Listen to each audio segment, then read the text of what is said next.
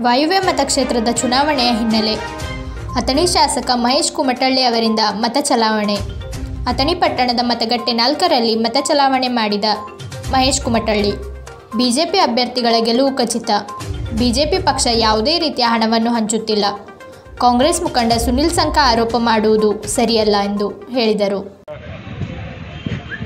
ವತಿಯಿಂದ ವಿಧಾನ ಪರಿಷತ್ತಿಗೆ ಅರುಣ್ ಶಾಪೂರ್ ಅವರು ಪದವೀಧರ ಕ್ಷೇತ್ರದಿಂದ ಹನುಮಂತ್ ತಿವಾಣಿ ಅವರು ಭಾರತೀಯ ಜನತಾ ಪಕ್ಷದ ಅಧಿಕೃತ ಅಭ್ಯರ್ಥಿಗಳಾಗಿ ಸ್ಪರ್ಧೆಗೆ ಇಳಿದಿದ್ದಾರೆ. ಇವತ್ತು ಪೋಲಿಂಗ್ ನಡೀತಾ ಇದೆ. ನಾನು ಕೂಡ ಈಗಾಗಲೇ ಓಟನ್ನು ಹಾಕಿ ಬಂದಿದ್ದೀನಿ. ನಮ್ಮ ಕ್ಷೇತ್ರದಲ್ಲಿ ಶಿಕ್ಷಕರು, ಪದವೀಧರರ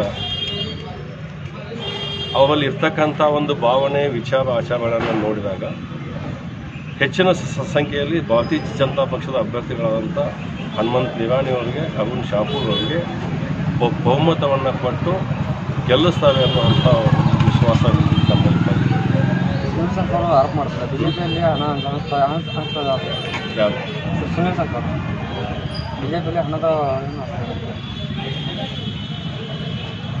ಅವರು ಅವರು ಕೂಡ ಅಭ್ಯರ್ಥಿ ಇದ್ದಾರೆ ಇತ್ತು ಹನುಮಂತ್ ನಿ- ನಿರಾಣಿ ಅವರು ಅದಾರೆ ಅವರಿಗೆ. ಎಲ್ಲಿ ಗಮನಕ್ಕೆ ಬಂದಿದೆ ಏನು ಗೊತ್ತಿಲ್ಲ.